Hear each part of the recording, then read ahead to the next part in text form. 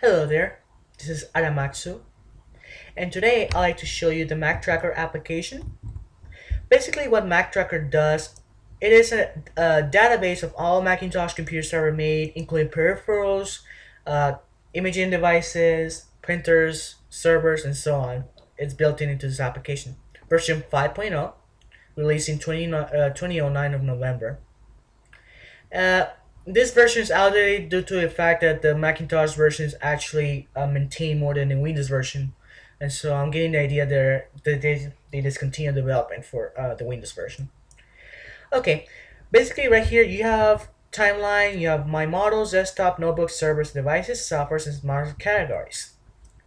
Uh, we're gonna start with timelines, and basically as you may see right here, uh, in this uh, left panel basically shows you a timeline of every single uh, year that the Macintosh was produced, all the way from 1983 until 2009.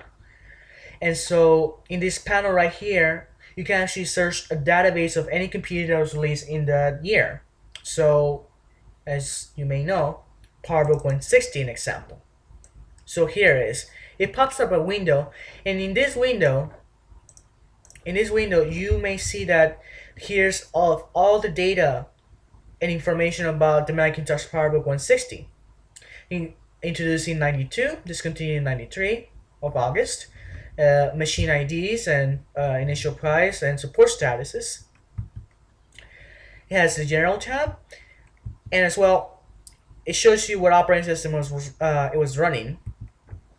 It has memory and graphics, expansion ports, history.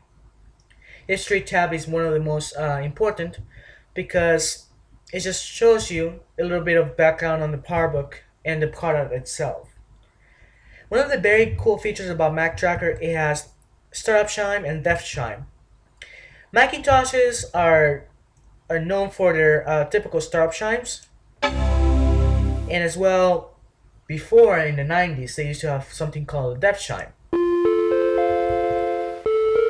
and uh, that meant that the hardware failed and the computer could no longer boot. So, you know, that's that. Timeline. My motto says if you want to uh, add your actual computer to my models uh, list, you can do that. We'll go over in warranty, leaving of warranty and out of warranty. Desktops. We're gonna start with a simple search on a Power Macintosh. And basically it can be any model you want, the iMac, current iMacs, or as old as the iMac G3. Let's use the iMac G3. So it shows you history, shows you a little, this one is more, uh, has more things on it because it's the first iMac. And so you can see that's built in 1998 and discontinued in January 1999. And initial price of 12.99 and obsolescent. And a PowerPC a G3 processor, number of cores 1, of course, and a process speed of 23 megahertz.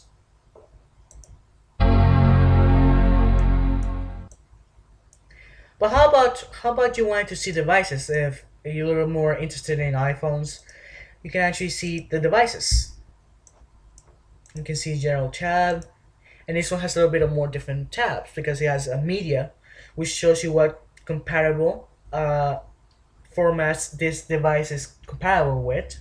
So video formats and shows you resolutions of and uh, frames per second. Also shows you power and connectivity. And of course, it is still supported with a version of iTunes 8.2. But how about something more interesting? How about uh, if you want to look at a historical mobile device, and here we have a Newton. Basically, you can see it's uh, the little graphic right there. Has history, operations, uh, altitude of 10,000 feet. Basically, if you put it on space, it will blow up, and so on. Now, to go more in depth on how this application can be used, pretty much you can actually just search if someone will ask you, hey, I would like to get some information on replacing a power supply. Uh, and so you would say PowerBook. They actually will say, oh, okay, I have a PowerBook. and you have to default back to all models. Our book. Oops.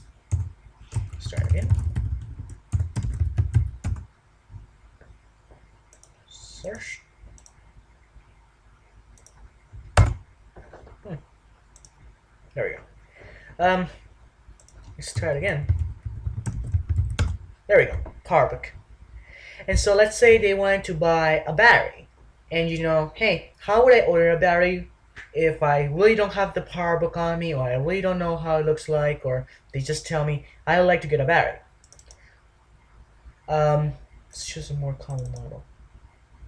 Here is. So they'll show you, um, they'll say, okay, well this is a PowerBook G3 and then you specify, okay, which version Wallstreet and just specify the keyboard because, you know, keyboards do change and so they will probably ask you, hey, I'd like to, you know, order a battery.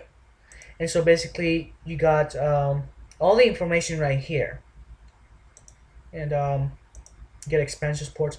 And so they'll probably tell you, well, I'd like to go, uh, get an AC adapter or power supply. And, and so you would search M4402 and the battery for, and it tells you what type of battery, lithium ion, M6385 and 4685, two versions. And it'll tell you, uh, this application itself tells you the battery life. So up to 7 hours, you have both base taken. Now, if you can see right here, this this PowerBook had two base on them. So they were swappable and you can just put uh, two batteries on them. And so it has also max kill uh, watts and so on and 45 watts and line voltage and a backup battery which is an internal battery. Here's a number for it. And it also shows you uh, connectivity no airport no bluetooth but ethernet and infrared of 4 megabits per second and a modem with a standard of 56 kilobits per second. So um, this is a very useful application if you want to service Macintosh computers um, and basically, if you want to install system software, it shows you what version macOS 8.0, yeah, maximum macOS 10, 10.2. And of course, it doesn't have to be a historical model. It could be a PowerBook G4. It could be a MacBook Pro.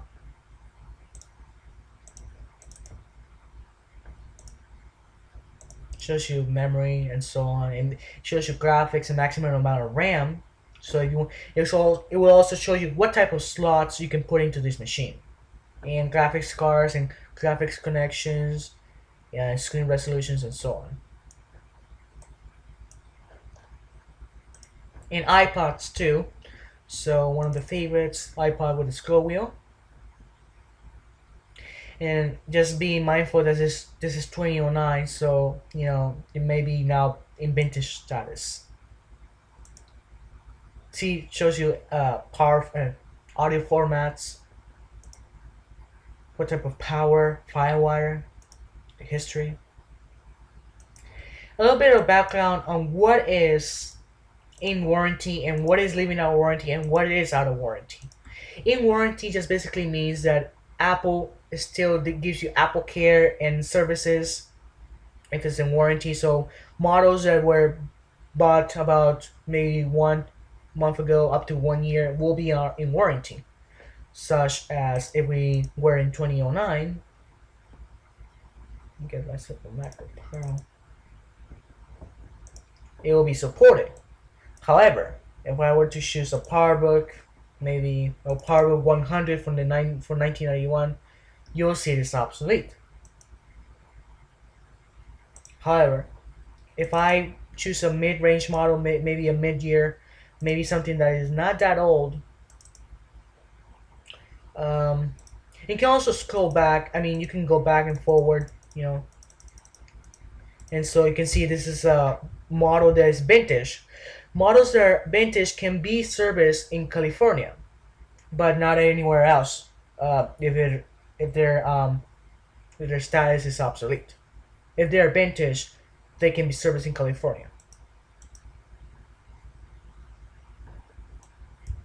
And so that is a little bit of demo on Mac Tracker and the capabilities of Mac Tracker and how it can help you identify models and learn about history and basically just you know learn how to uh, service a Macintosh or just learn what a Macintosh is or how it sounds or what system software and so on. So that's Mac Tracker. Thank you.